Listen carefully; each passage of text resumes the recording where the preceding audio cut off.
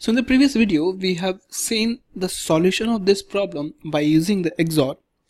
And I told you that is the most efficient solution possible, most efficient because we discussed three solutions. Number one is by brute force technique. The second one is by hash table or hash maps.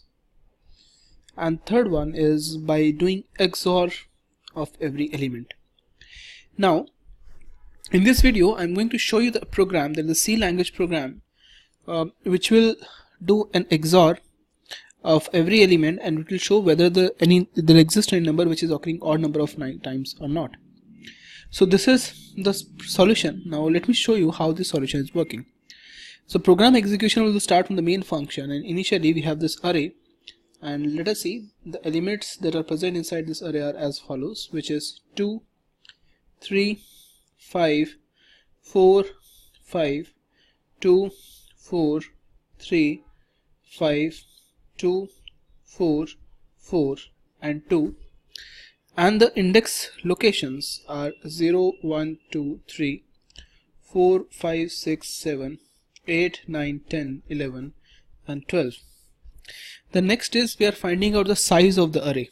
So size of this array is uh, divided by size of the any index location 0 this is going to tell what is the total number of elements inside this array we have already seen that in our programming videos how this uh, statement is working.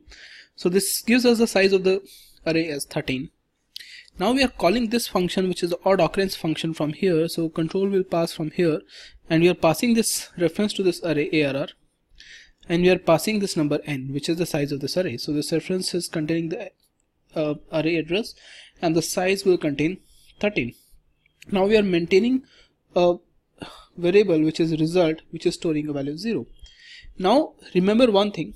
As I told you that if you do a XOR 0 yeah, or 0 XOR a that will give you the number a itself. So what I'm going to do is I'm going to take every number here and initially I'm going to start 0 XOR 2 whatever result I'm going to get I'm going to do the XOR with the next number which is 0 XOR 2 XOR 3 and whatever result I'm going to get I'm going to do the XOR with the next number.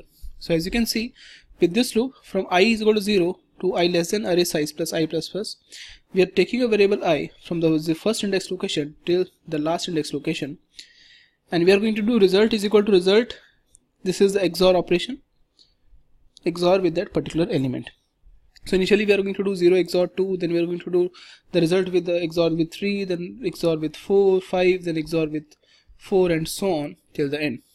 And by the end if we get a result which is a non-zero result by performing the XOR of every one of them so what we'll do is we'll do XOR of every single one of them like this.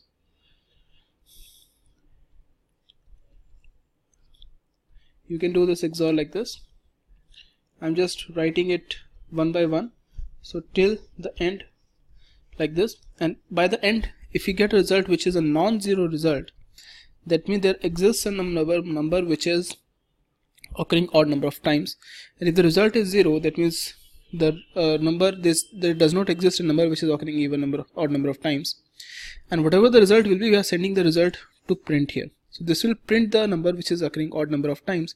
Otherwise it will print zero.